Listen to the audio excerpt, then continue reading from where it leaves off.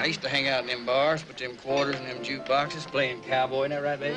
Mm-hmm. Remember how much you loved it? Yeah, hell yeah. Sure.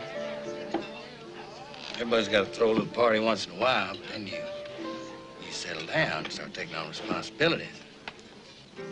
Jody, dear, you could wear nice clothes and quit that job answering the phone. Just take your place as a homemaker, supporting your husband after you get married. That's right, Mama. Life is important. Darling, I just had it done. I'm sorry, baby. She, you always have done. You remember how Daddy used to work me like a goddamn Mississippi nigger waxing them cars for five dollars a day?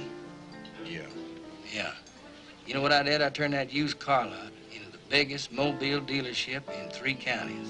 What do you think Daddy'd think of that right now if he's alive? He'd be real proud of you, Royce. I'm sure he would. Goddamn proud of me, Kyle. Come on, Jody, let's go.